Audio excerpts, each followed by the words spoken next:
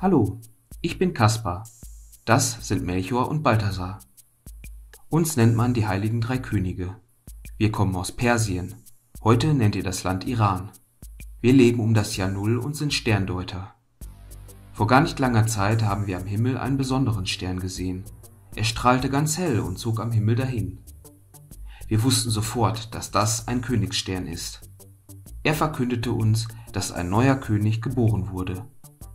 Jetzt sind wir unterwegs und haben dem Kind wertvolle Geschenke mitgebracht. Gold, das sehr wertvoll ist, Weihrauch, der besonders gut duftet, und Myrrhe, ein Heilmittel für kleine Wunden. Nach einer weiten Reise kamen die drei Weisen nach Jerusalem. Dort stand ein großer Palast. Sie dachten sich, wenn ein König geboren wurde, dann wohnt er ganz sicher in diesem schönen Haus. Also gingen sie hinein. Im Palast wohnte auch tatsächlich ein König. Er hieß Herodes. Herodes war aber viel zu alt, um gerade erst geboren worden zu sein. Also erzählten ihm die drei von dem Stern und fragten, wo der König geboren worden sei. Herodes erschrak. Er bekam Angst, dass der neue König ihn vom Thron stürzen und ihm sein Königreich und sein Reichtum wegnehmen wolle. Aber Herodes war schlau.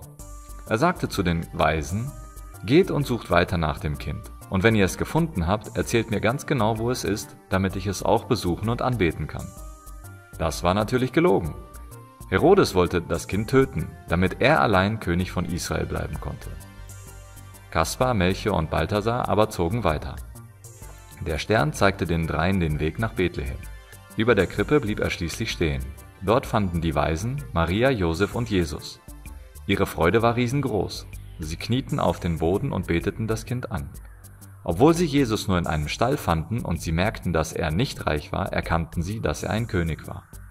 Irgendwann waren sie müde und schliefen ein. Im Traum erschien ihnen ein Engel und erzählte ihnen von Herodes bösen Plan. Also gingen die Weisen nicht wieder zu Herodes, sondern nahmen einen anderen Weg zurück nach Hause.